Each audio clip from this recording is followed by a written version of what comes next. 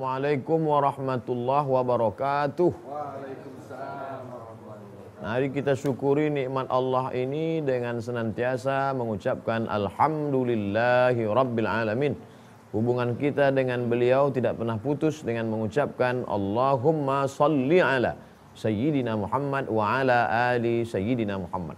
Yang kita kaji ini adalah kitab suci yang diturunkan Allah kepadanya. Itulah Al-Quran surah Al-Mu'minun ayat 15-16.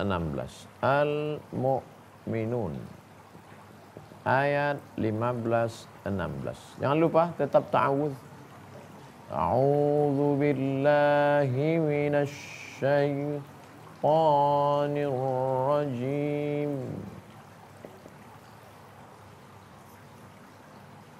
Summa innakum dzalika lamayitun. Summa. Kemudian. Proses kamu. Sebelumnya kamu hanyalah saripati makanan. Dari dalam tanah. Lalu kemudian kamu berubah menjadi nutfah sperma. Lalu kemudian berubah menjadi alaqah, darah yang menempel di rahim. Lalu kemudian kamu berubah menjadi mudghah, segumpal daging. Lalu kemudian kamu berubah menjadi tulang. Lalu tulang itu dibalut oleh daging. Lalu kemudian kamu menjadi makhluk yang sempurna. Setelah itu kamu menjadi apa? Summa kemudian masih berlanjut lagi prosesnya. Inna Inna sesungguhnya penekanan mana? Kum kamu wahai manusia. Ba'da setelah. Makanya ada solat qabliyah dan ba'diyah. Ba'da. Zalik. Setelah itu semua. Setelah proses bla bla bla yang sebelumnya tadi. Setelah itu kamu semua akan menjadi mayit.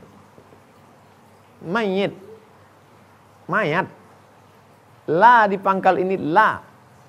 Bukan la, tapi pendek. La.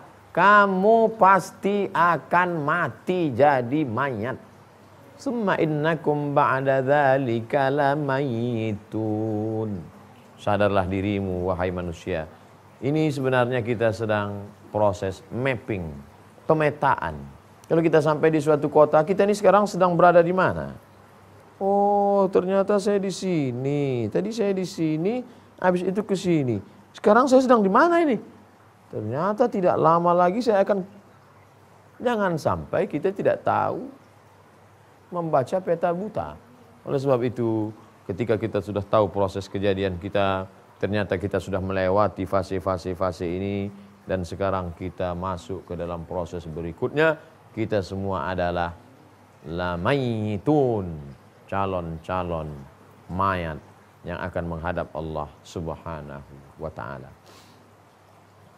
Tadi kemarin semalam beberapa hari yang lalu kita pernah membahas bahwa ada yang namanya proses penciptaan manusia 40 hari dalam bentuk sperma, 40 hari dalam bentuk darah, 40 hari dalam bentuk daging, 120 hari sama dengan 4 bulan maka pada saat itu datanglah malaikat membawa roh. Lalu kemudian roh bertemu dengan yang namanya jasad. Di mana proses itu? Proses roh bertemu jasad disebut dengan tempat bernama rahim. Lalu apakah itu awal dari segala sesuatu? Tidak. Karena sebelum itu kita sedang berada di suatu tempat bernama alam roh. Bentuk jamaknya arwah. Roh satu. Arwah tiga. Plus lebih. Kita sudah berada di alam arwah. Lalu roh kita yang ketika itu belum ada darah, belum ada daging, belum ada tulang, belum ada sumsum, -sum, belum ada bulu. Berubah bertemu dengan jasad. Selama sembilan bulan, sepuluh hari. Setelah itu kita akan ke mana? Sekarang kita sedang berada di alam yang baru. Inilah disebut dengan alam dunia. Berapa lama kita berada di sini? Kita akan berada di sini selama 63 tahun. Insya Allah mengikut Nabi Muhammad sallallahu alaihi wasallam. Kurang daripada itu. Allahumma ja'alil hayata ziyadatan lana fi kulli khair.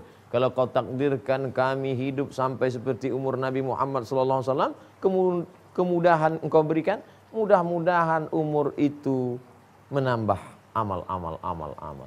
Tapi andai kau matikan, kami mematikan kami malam ini waj'alil mauta rahatan lana min kulli syar. Mati malam ini berhenti dari segala perbuatan dosa. Setelah itu ke mana akan pergi?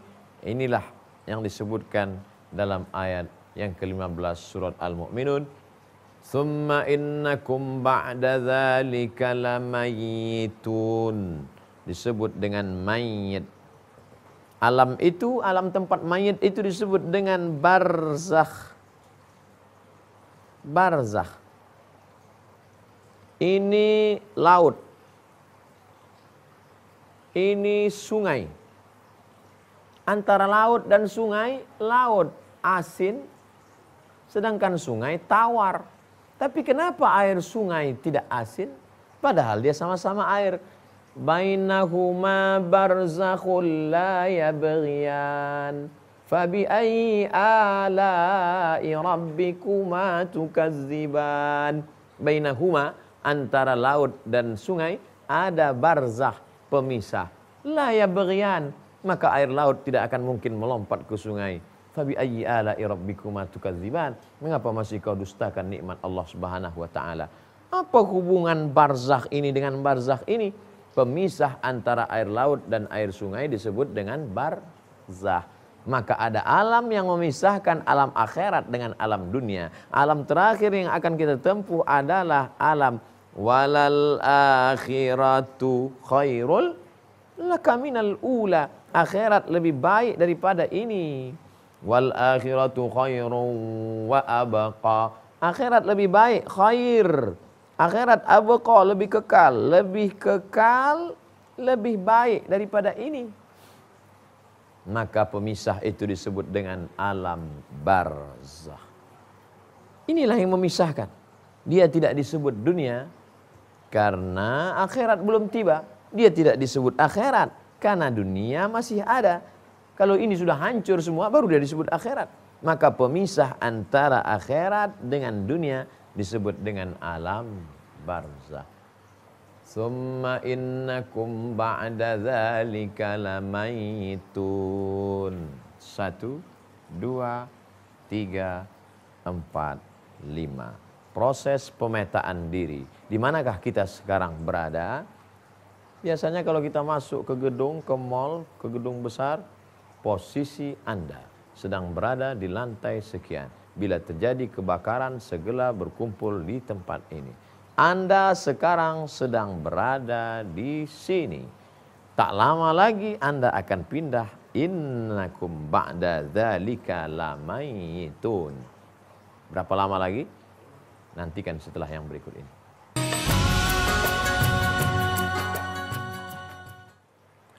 Di sini kita namanya roh. Di sini kita bernama janin. Di sini kita bernama mayat. Katanya hantu Ustaz. Enggak, enggak ada hantu. Kita mayat.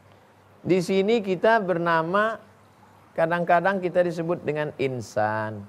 Kadang-kadang kita disebut dengan bashar.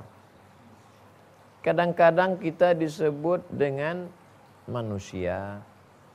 Lalu kemudian setelah itu kita pun akan kembali kemari masuk ke dalam. Inilah dia ayat yang disebut Allah Subhanahu wa taala ayat yang ke-16. Summa innakum yaumal qiyamah Summa innakum yaumal qiyamati tub'asun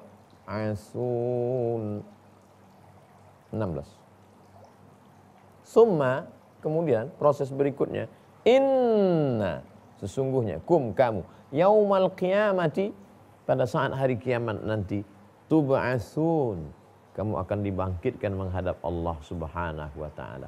Waktu di alam roh kita hidup. Hidup. Kita tidak mati. Pindah ke alam rahim kita juga hidup. Kita tidak mati. Di alam dunia masih hidup? Masih. Pindah ke alam barzakh Apakah kita di alam barzah itu hidup? Hidup. Katanya mayat itu mati. Kalau mayat itu mati, maka untuk apa kita mengucapkan salam di kubur? Assalamualaikum ya ala diyar minal mu'minin wa inna insyaallah bikum lahikun yarhamullahu al-mustaqdimin wal mustaqin nas'alullah lana wa lakumul afiyah. Doa itu diajarkan dalam hadis sahih. Apa kata Nabi kepada Ummul Mukminin Aisyah radhiyallahu anha, kalau engkau lewat di makam mulut yang diam saja, tapi ucapkanlah salam kepada mereka. Nabi datang ke sumur tua tempat pembuangan jenazah orang-orang kafir musyrik. Laqad wajadna ma wa'adana rabbuna haqqa fahal wajadtum ma wa'ada rabbukum haqqa kata Nabi. Ke dalam sumur itu kami sudah mendapati janji Allah yang benar. Wahai kalian orang-orang kafir musyrik yang berada di dalam sumur tua. Apakah kalian sudah mendapatkan janji Allah? Sahabat heran. Apa yang kau katakan ya Rasulullah? Kalian tak dengar. Lalu kemudian mereka berkata, itu Hamzah sudah mati. Hamzah sudah mati. Yuqtalu fi sabilillahi amwat. Jangan kau katakan mereka mati. Bal ahya. Mereka hidup. Walakin la tash'urun. Tapi kamu tak bisa merasakan kehidupan mereka. Dalam ayat lain, bal inda rabbihim yurzaqun. Mereka mendapatkan rezeki dari Allah Subhanahu wa taala, tapi kamu tak dapat merasakannya. Oleh sebab itu kita senantiasa hidup, hidup di alam roh, hidup di alam rahim, hidup di alam dunia, hidup di alam barzah dan kita akan hidup kekal selamanya di dalam surga Jannatul Firdaus. Di antara empat alam, lima alam ini, mana alam yang paling mengerikan? Mana alam yang paling melalaikan? Nih, ini sebentar sekejap saja. Tapi resiko yang akan diterima. Dua alam telah berlalu. Alam roh sudah. Alam rahim sudah. Dua alam belum. Alam barzah belum. Alam akhirat belum. Dan sekarang kita sedang berada di sini. Di sinilah orang banyak silap, banyak khilaf, banyak lupa, banyak lalai, banyak tergelincir oleh sebab itu kita saling mengingatkan dalam kerangka watawasau bil haq watawasau bis Tak ada di antara kita yang ingat alam arwah. Tak ada di antara kita yang ingat alam rahim. Kita mungkin baru mengingat memori pertama di umur kelima belajar berjalan pun kita tak ingat kapan kita jatuh. Saat telungkup, saat tengkurap. Kita hanya ingat saat jatuh belajar naik sepeda. Lalu kemudian alam ini belum dan kita belum pernah berkomunikasi dengan mereka yang pernah pergi ke sana melainkan hanya dalam mimpi semata itu pun mimpinya pasif hanya menerima berita kita belum pernah meminta request oleh sebab itu apa maknanya betapa kita kalau tidak melalui wahyu ini tak dapat dicerna oleh akal oleh sebab itu sebagian orang yang tidak percaya kepada wahyu tidak percaya kepada agama apa itu omong kosong itu semua? Tidak ada itu alam arwah, tidak ada itu alam pertemuan dengan roh, tidak ada itu alam barzah, tidak ada. Hidup hanya sekali, buatlah sesuka hati. Hidup hanya sekali, buatlah dosa sampai mati. Hidup hanya sekali, mabuklah semabuk-mabuknya sampai masuk paret comberan mati dalam keadaan mabuk. Nauzubillah. Maka dalam lubuk hatinya yang paling dalam, dia berkata sebenarnya Allah itu ada. Sebenarnya kita ini dicipta. Sebenarnya kita ini adalah calon-calon Thumma innakum ba'da dzalika lamayitun. Ingat-ingatlah mati. Orang kalau tidak mengingat bahwa dia akan mati, tapi biasanya hanya nasihat saja. Ingat mati, ingat mati. Ada yang lebih kuat lagi daripada mengingat mati. Apa itu? Buka jenazah itu, lihat baik-baik. Antarkan. Kalau perlu kita yang masuk ke dalam liang lahat. Miringkan ke arah kiblat. Setelah dimiringkan ke arah kiblat, Jangan lupa menempelkan hidung jenazah kena ke tepi tanah. Tinggallah jenazah. Tiga orang, satu menyambut kepala, satu menyambut pinggang, satu menyambut kaki. Letakkan ke dalam, miringkan ke dalam. Harapkan ke arah kiblat. Melihat langsung nyata ada pelajaran. Wakafa bil mauti wa'iza. Cukuplah kematian itu sebagai nasihat. Cukuplah kematian itu sebagai nasihat. Ada nasihat yang disampaikan oleh para khotib kita di mimbar yang menggelegar. Ada nasihat yang disampaikan oleh para ulama kita. Tapi ada nasihat yang diam seribu bahasa. Nasihat yang tidak pernah berbunyi dan bersuara. Nasihat apa itu? Wakafa bil mauti wa'iza. mengingat-ingat bahwa kita akan juga mati menghadap Allah. Di saat berada di dalam liang lahat itu barulah tersadar kita mana harta yang banyak, mana rezeki yang dicari pagi, petang, siang dan malam, mana anak, sahabat, kerabat, menantu, mana buah hati belayan jiwa. Sampai masanya kemudian akan diturunkan tanah pelan-pelan ke dalam, kemudian semua akan naik ke atas dan tinggallah sebatang kara sendirian. Paling lama mereka bertahan dua tiga hari berdoa, Allah maafir lahu warhamhu wa'afihi wa'afu anhu wa ja'alil jannata mathwahu setelah itu tinggallah semuanya. Thumma innakum ba'da dzalika lamayitun. Dunia ini melalaikan. Kalau tidak terus kita introspeksi diri, makanya Nabi memberikan satu amalan. Baca Quran amal soleh, berzikir amal soleh, puasa amal soleh. Tapi ada satu amal soleh. Man syahidal janazata, ikut menyaksikan jenazah. Lahu qirat, Wa man syahidal janazata hatta tusalla 'alaiha. Siapa yang menyaksikan jenazah sampai salat maka dia dapat satu qirat. Kalau sampai menguburkan lahu qiratan. Apa dua qirat itu ya Rasulullah? Mithlul jabalainil azimaini seperti dua bukit Uhud yang besar. Kita lanjutkan setelah yang berikut.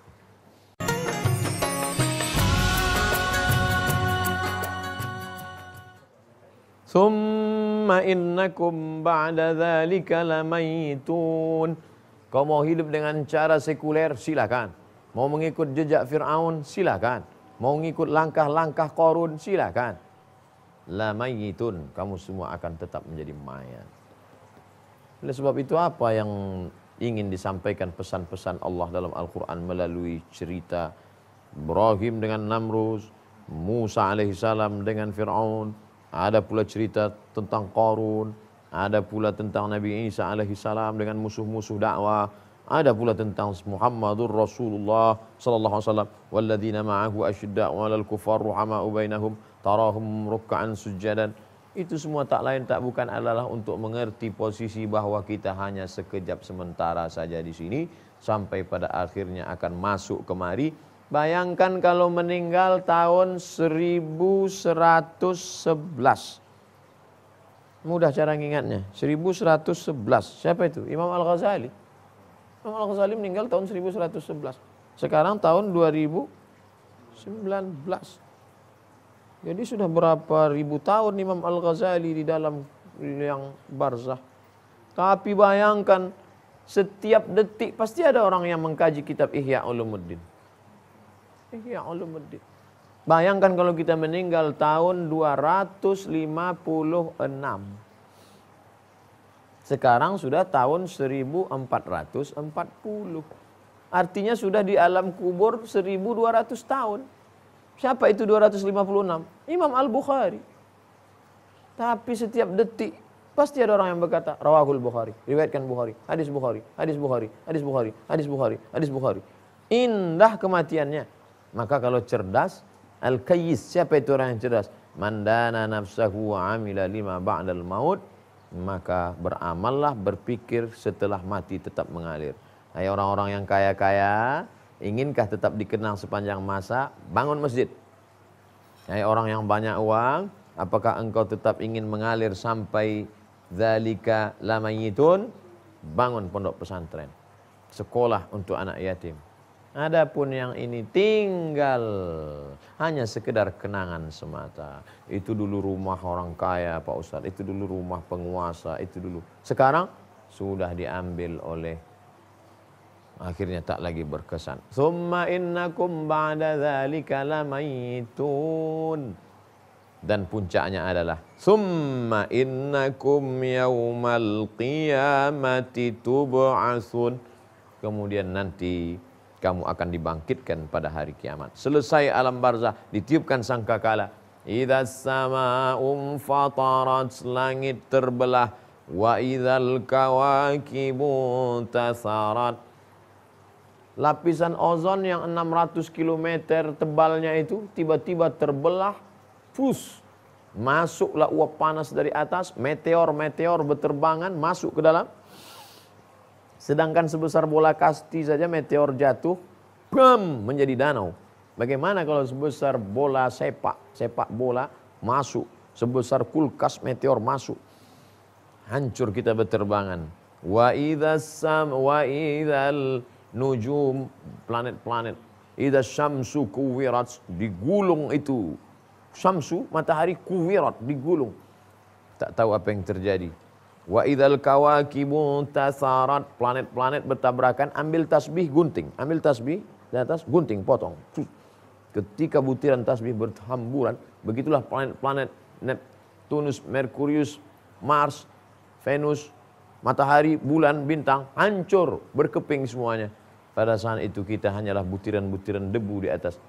Wataran nasa sukara. Kau lihat manusia saat itu seperti orang yang mabuk terombang-ambing. Wa ma hum bisukara. Mereka sebetulnya bukanlah orang yang mabuk. Walakinna azaballahi syadid. Tapi saat itu adalah azab Allah yang amat sangat mengerikan. Summa innakum yawmal qiyamati tub'asun. Kamu akan bangkit menghadap Allah. Bangkit dari kubur. Ada yang bangkit dari kubur itu bagaimana dia? Ya qumu minal kama yaqumul ladzi yatakhabbatuhu syaitanu minal mas. Ada orang yang bangkit bangun dari kubur itu seperti orang yang kerasukan setan. Siapa dia? Alladzina ya'kuluna riba. Orang yang makan riba. La yaqumuna illa kama yaqumul ladzi yatakhabbatuhu syaitanu minal mas. Ada yang bangkit dari kubur itu, kepalanya dalam bentuk keledai. Siapa dia? Inilah orang yang mendahului imam. Ada yang bangkit dari kubur itu, dibangkitkan bersama orang-orang yang zalim, dibangkitkan bersama Fir'aun, dibangkitkan bersama Qarun. Siapa mereka? Al-mar'u ma'aman ahab wa husyira yaumal qiyamati ma'ahum man tashabbaha biqaumin siapa yang ikut-ikut tradisi suatu kaum fahuwa minhum maka dia anggap bagian dari kaum itu wa husyira yaumal qiyamati ma'hum dan nanti di akhirat akan dibangkitkan bersama mereka. Tapi ada pula orang yang dibangkitkan dia pandang kanan kiri, muka belakang, atas bawah, semuanya malaikat-malaikat. Aku bukan malaikat, aku bukan jin, aku manusia. Kenapa aku dibangkitkan bersama malaikat? Al-mahiru bil Quran. Orang-orang yang mahir membaca Al-Quran ma'as safaratil kiramil bararah akan dibangkitkan bersama para malaikat-malaikat. Ada pula orang yang nanti menghadap Allah di atas kepalanya tajum minan nur, ada mahkota dari cahaya. Ada yang dapat mahkota, ada yang tidak. Mengapa ini di atas kepalanya ada mahkota? Inilah orang-orang yang mendidik anak-anak generasi Qurani. Sekarang kita menanam, itu yang akan kita tuai. Menanam angin, menuai badai. Menanam padi, rumput pasti akan ada. Menanam rumput tidak akan pernah muncul padi. Oleh sebab itu, tangan mencincang, kata pepatah Melayu. Bahu memikul. Apa yang kau cincang, kau potong saat ini, itulah yang akan kau pikul di hadapan Allah. Sebenarnya dari dua ayat ini, kita sedang diingatkan menjadi makhluk yang bertanggung jawab tentang apa yang kita lakukan, apa yang kita ucapkan, apa yang kita sampaikan, apa yang kita pikirkan apa yang kita program rencanakan ke depan semua akan dituntut di hadapan Allah Subhanahu wa taala. Tsumma innakum yaumal qiyamah tub'atsun. Betapa tidak adilnya Allah Subhanahu wa taala andai tidak ada hari kiamat. Sampai hati Ustaz mengatakan Allah tidak adil. Betapa kita tidak dapat menuntut apa-apa seandainya tidak ada hari kiamat. Di antara keadilan Allah dengan adanya hari kiamat. Mungkin ada pertanyaan terkait dengan ayat 15-16 ini. Baik. Bismillahirrahmanirrahim. Assalamualaikum warahmatullahi wabarakatuh. Waalaikumsalam warahmatullahi wabarakatuh. Ustaz, uh, kajian dari dua ayat ini uh, adalah mengenai uh, fase setelah kehidupan di dunia. Kemudian yang ingin saya tanyakan, uh, bagaimana caranya supaya kita selamat bahwa kita hidup sebentar seperti yang Ustadz sampaikan, tapi nanti di alam akhirat itu sangat panjang. Bagaimana cara supaya kita selamat di akhirat Ustadz? Terima kasih. Assalamualaikum warahmatullahi wabarakatuh. Gimana supaya kita selamat melalui ini? Alhamdulillah di alam arwah sudah selamat, di alam rahim selamat, di alam ini agak-agak selamat. Yang dua ini bagaimana selamat? Insya Allah kita akan bahas setelah yang satu ini.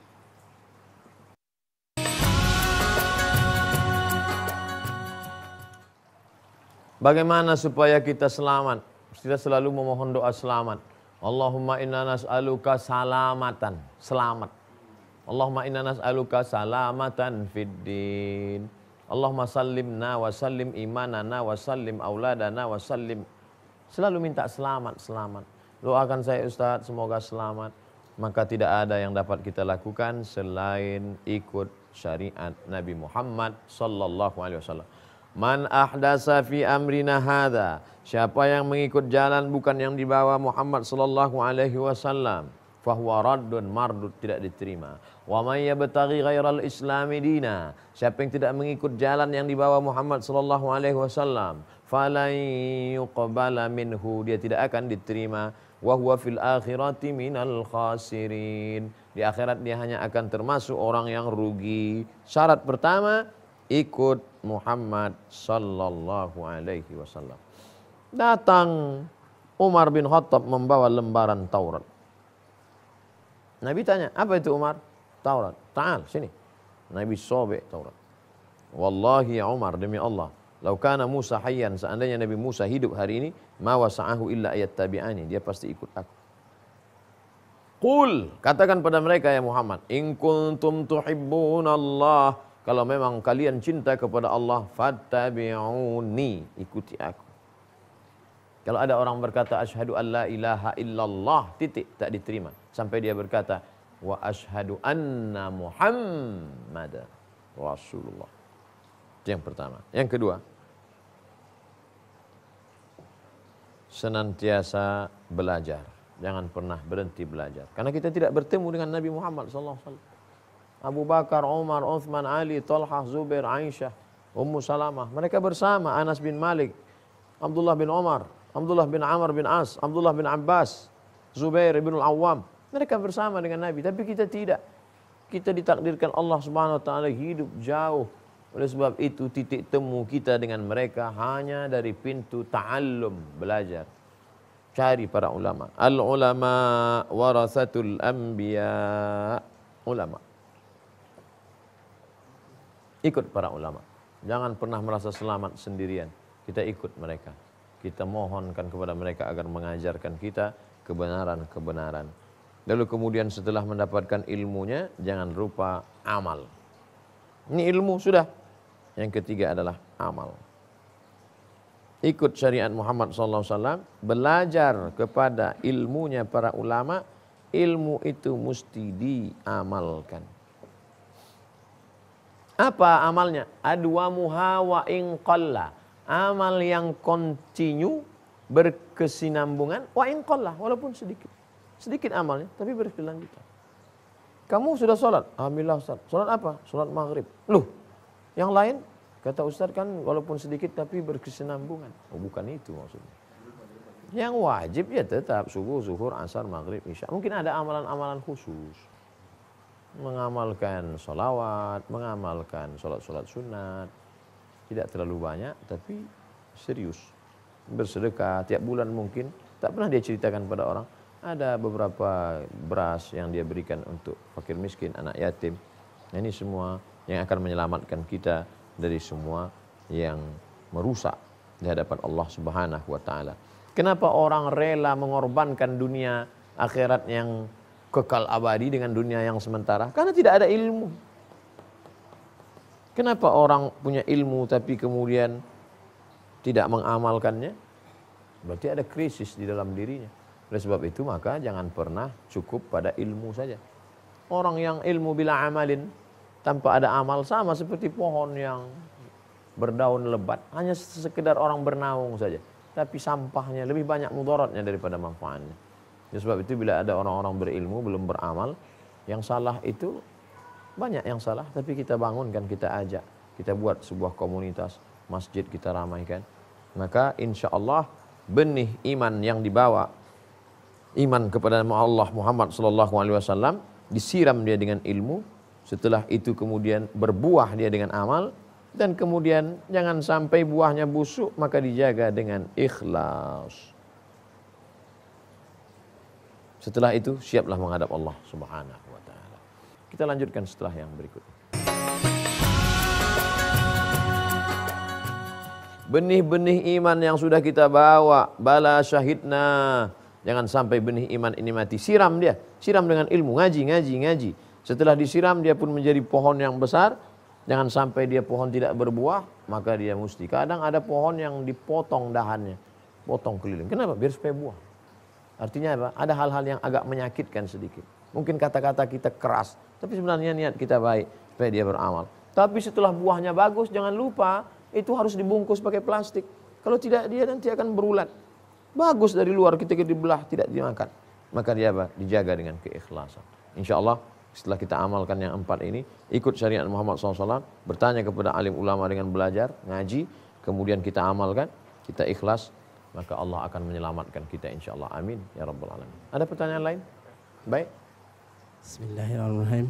Assalamualaikum warahmatullahi wabarakatuh. Waalaikumsalam. Mau nanya, mau nanya Ustaz, kapankah eh, kita bisa dikatakan ilmu dan amal itu bisa berbuah Ustaz?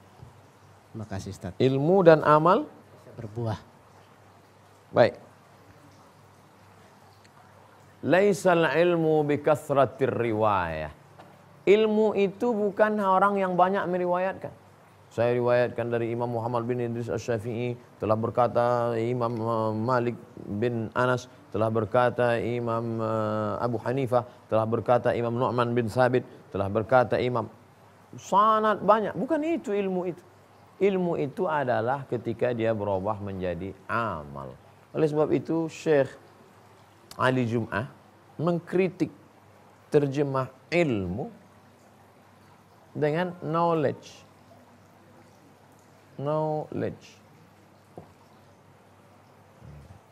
kata Syekh Ali Jum'ah ini terjemahan yang salah kata dia karena knowledge dalam bahasa Inggris itu ilmu hanya pengetahuan semata banyak mereka yang belajar Islam.